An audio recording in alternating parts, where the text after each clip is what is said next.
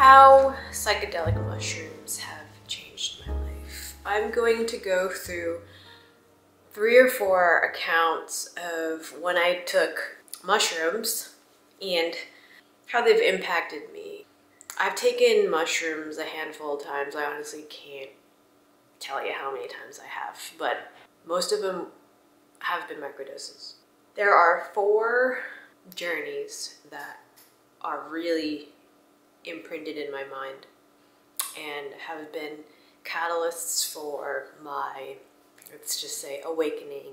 Honestly, greater awareness, or whatever you want to call it. I feel like plant medicine in general has really helped me become who I am today in a way that it has shed layers of fake shit, of beliefs that I had about myself that became my reality because I was so attached to these ideas I had about myself and that I was unworthy, that I wasn't good enough, I just all these things that were plagued with growing up. And it doesn't help that in our childhood we go through a lot of trauma and a lot of conditioning that doesn't allow for our true self to truly shine. I feel like most of us don't even know who our true selves are because we've grown up with such dense conditioning that you gotta be a certain way to like be in this world. Psychedelics have helped me shed those layers in the way that you start to see the bullshit. You start to see the bullshit not only in your life, but in the world. For me, at least, in my experiences. So I'm just gonna briefly go through these accounts. The first time was in college. I was either 18 or 19. I was doing it with my partner at the time. He wasn't really my partner. We were really kind of dating. I actually did a handful of psychedelics with him. So one night, we impulsively decided to take shrooms because he usually has some substance on him. But anyway, it was like 7 p.m. at that point. My roommate wasn't in town, so we decided to do it. I remember we were, I went to school in Boston. We were like in a park or something at night. I took the mushrooms and we went up to my dorm. Okay, so we're lying in the bed remember it happening really fast. Out of nowhere, I just realized I was tripping. And I remember getting visions of my life and my memories just flashing before me like an album. Like if you opened up an album with a bunch of photographs and you flip through them really quickly, that's what I saw. And I also start to see the internet and it looked like this orb, this spherical thing with tons of facets on them. So the internet was basically in visual form. I could see it. And I realized how much time we spend in this fabricated reality. And it's so interesting. And I, I was like, what the fuck? Most of my life is spent through a screen. That's scary. And what else happened? Oh, so I was in school at the time, and I remember thinking, like, oh shit, I have to go to my internship on Monday, and I have to go to class on Monday. That makes no sense. And I remember just feeling so distraught and sick and twisted inside of me, thinking about schedules and classes I had still had to go to and all these obligations that I had in this fabricated world that I was living in. Like my everyday existence just became bullshit. Because at the time I was actually not in the best space in my life. I was, I hate to use the word depressed, but to be honest, I was depressed and I was anxious and I was just riddled with worry and anxiety constantly because I didn't know what the fuck I wanted to do with my life. I was in school for graphic design. I was good at it, but I wasn't passionate about it. I was I just felt lost and confused and I had no I had no like anchor. I was really ungrounded and like barely had any friends. I had like a couple foreign exchange students, student friends, but otherwise I just spent all my time with this dude and did drugs with him. um, anyway, I was in a bad space in my life. And the truth of that really came to the forefront in that trip. Oh, okay. And another really beautiful thing that happened though during the trip was um, I remember caressing his belly or side or something. And I remember I closed my eyes, I was caressing his skin, and it felt like I was caressing the terrains of the earth. Everything was so huge and so small at the same time, and so delicate and precious. And everything I touched felt magical because my senses were amplified and everything just felt so magical, good, like so nice. And then, so I have these string lights that I hung up in my dorm. I remember reaching out to them and rubbing my hand against the string lights and thinking that I was, it, felt like a, I was, it sounds so weird, but I, like I was caressing the umbilical cord of the earth with my hand and it felt like just so amazing. There are no other words to describe it. It just felt, it just felt a lot of love. There was one point in the trip where he looked at me blank in the face, and I looked at him. Next thing I know, I feel this warm trickle running down my leg. I'm like, what's going on? Are you okay? I look down and I'm realizing that he's peeing on my leg and on my mattress. But I didn't register in my mind that like he was peeing. I was like, wait, is this right? Is this supposed to be happening? Because at that point, I had no concept of what was right or wrong. I was just like, okay, this is happening. I'm confused. It's really warm and wet what do we do? He just looked at me blank in the face and just pissed himself. I mean, he was gone at that point. he was gone. anyway, pretty much we just ended up falling asleep in his piss and we woke up the next morning. It's gross, drenched in his piss. Oh, so, so gross. But we woke up and we were like, what the fuck happened? But anyway, remember that day, that morning, obviously we cleaned up the sheets and stuff, but that morning his dad picked us up to go back to his house. And I remember we were driving through Boston and I was looking at all of the buildings and stuff and just complete and utter awe. Like everything looked so new and so beautiful. Like I've never seen Boston like that before.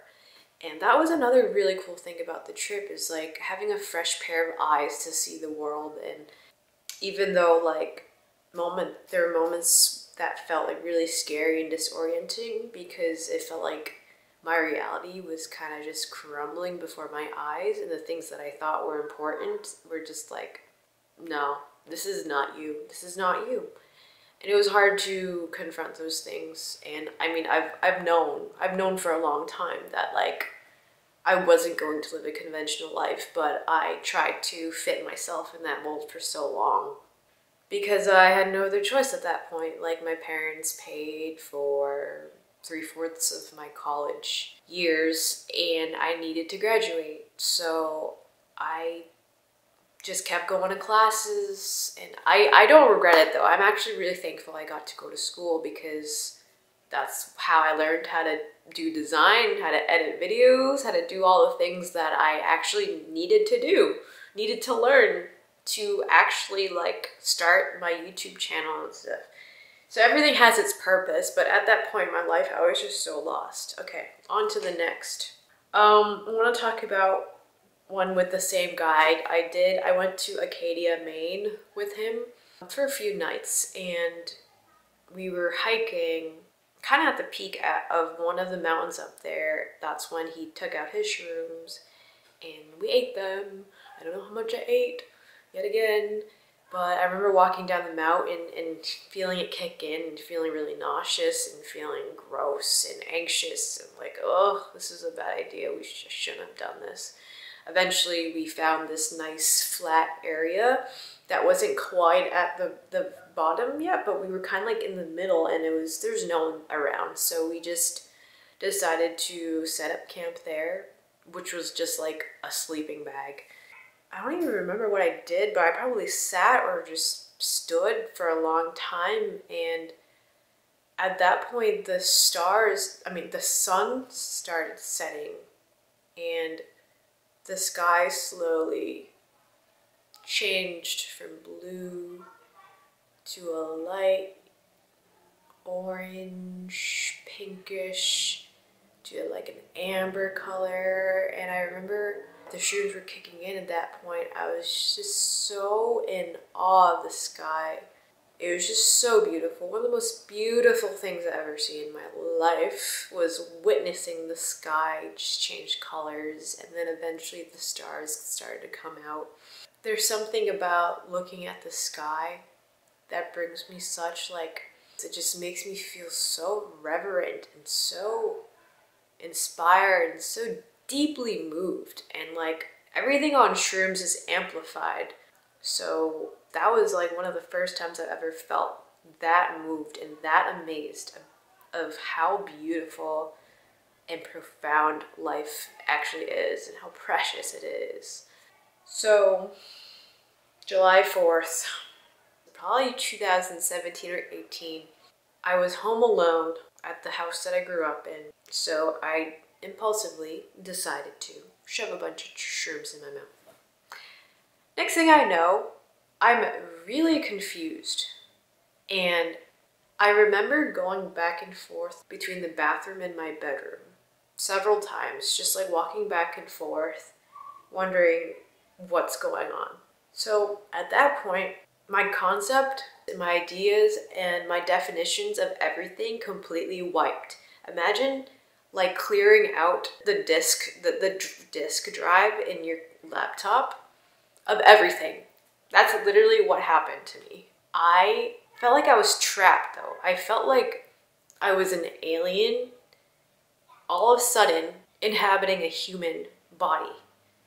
And I was so confused because I was like, I was looking down at my hands and I'm like, what is this? Am I stuck in this forever? I was like, I was pure consciousness. What did I write down? I like wrote it down here. Okay, and I felt stuck and trapped in a dimension and stuck in this weird ass, gross body. I just, everything felt gross.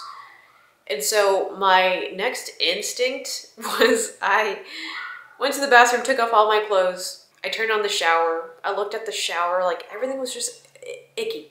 I turned it on. I stepped into the shower and it was like freaking cold.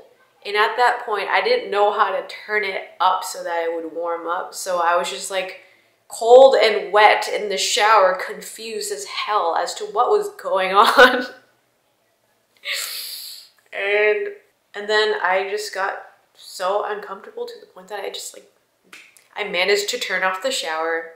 I stepped out at this point, I was cold and wet and confused, and so I just sat on the bathroom tiles, just like, what is going on? I was just so out of it. Slowly and steadily, I regained consciousness. So at this point, I got up. I went back into my bedroom. I like laid on my, my bed for a while. When you're on shrooms, breathing feels so good you can really feel how the breath is literally life force energy running through you. Like on shrooms, it's just so much more intensified. Um, so I was just breathing a lot, and then I felt called to go sit down at the piano. And since at this point I I regained enough awareness that I took out my laptop, I went on the webcam app and I hit record and I recorded myself playing the piano for like an hour or two. I forget how long the video actually is. but I remember just bawling my eyes out. I never cried so hard in my life uh, as I was hitting the keys on the piano. Every key, every sound, every note, like the sounds felt like my emotions being played out in sound. Because the thing about shrooms is that your senses start to overlap a lot too. So uh, this every sound felt like an emotion to me, and it felt like I was playing my emotions out which made me bawl my freaking eyes out because I felt like at that point in my life, I was suppressing so much and I was just, it was, it was like one of those times in my life where I was just not living my truth and expressing myself. So, so yeah, that was like, that was also a very memorable trip. Generally, from all of these experiences on shrooms, I've learned that everything is bullshit.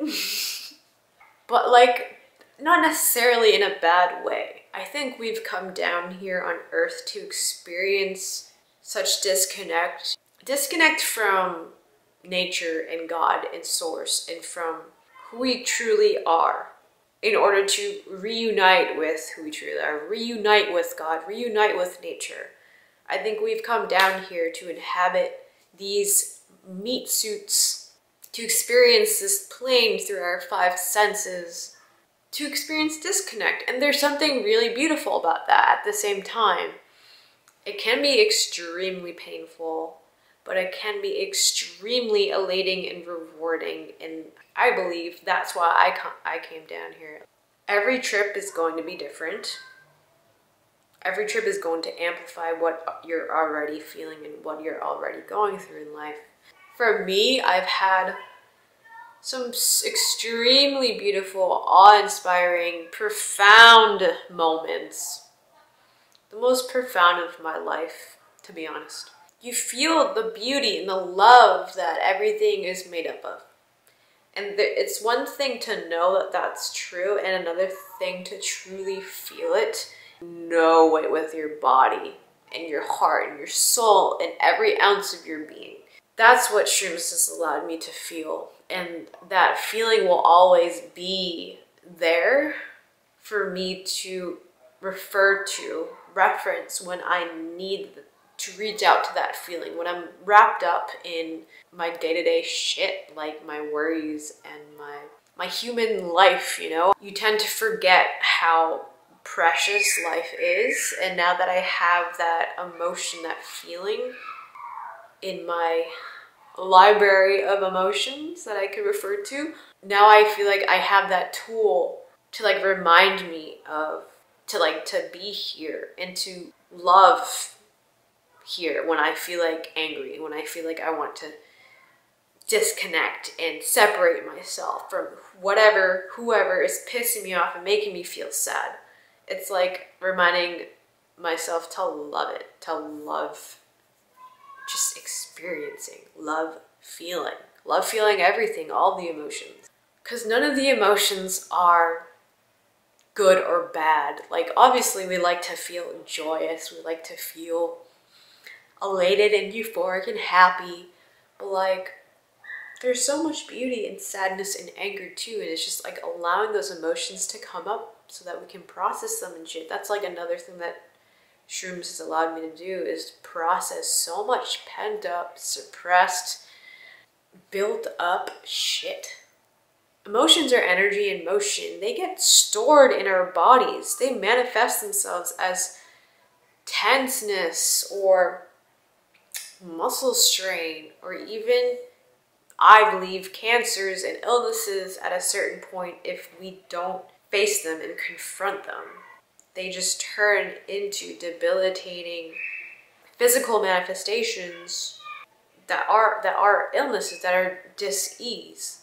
So it's so important to process these emotions. But most of the time, I don't, I don't even think most people know that these emotions are in them because of how distracted we are from ourselves, how we're constantly going from one stimulating thing to another, how we're just constantly on our phones and shrooms is healing in, in that way. Healing because it forces you to confront a lot of things. And that may be scary and painful, but to live a life where you're constantly suppressing your emotions and constantly disowning feelings that you'd rather not confront and face, these memories that you'd rather not face and look at, like living that life is more detrimental in the long run. They, they weigh you down quite literally. So with plant medicine and shrooms, it's like here here it is. This is how you feel. Now it's time to, for you to go through it. And I remember bawling my eyes out so hard to the point that it hurt. it hurt to cry physically. I was like, oh my God. I didn't realize how many freaking tears were in me. But it's also the opposite, you know, like I've laughed so hard. I've laughed like a ridiculous amount on shrooms.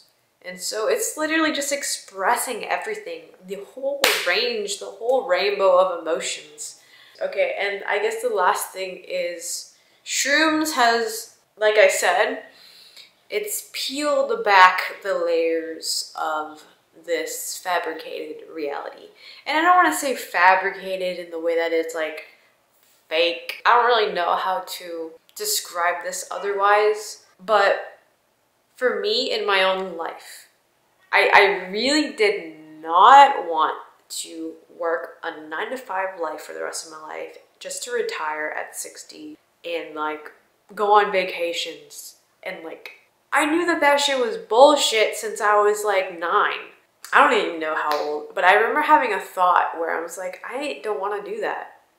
As a kid, I was like, I don't want to do that. I want to be a kid forever.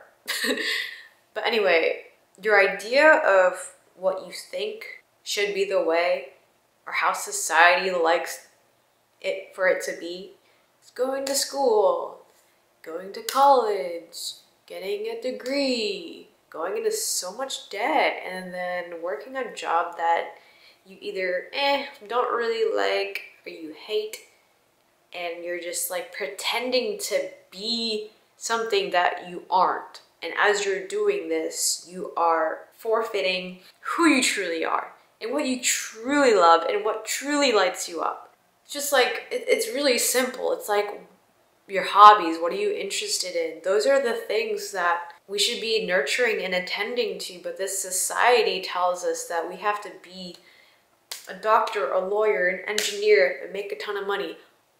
Obviously, things are shifting right now because there are so many creators out there. There are so many people utilizing the internet and social media to put their creations out there, which is so cool to see. Oh my god, it's so amazing. But even for me, like, I knew that I didn't want to be a graphic designer my entire life. I knew that I was good at it, but I knew that I didn't want to work for a company. I wanted to express. I want to express myself.